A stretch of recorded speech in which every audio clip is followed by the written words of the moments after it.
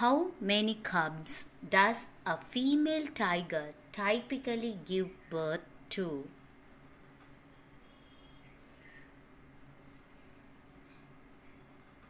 Female tigers usually give birth to a litter of 2 to 4 cubs, although larger litters are possible.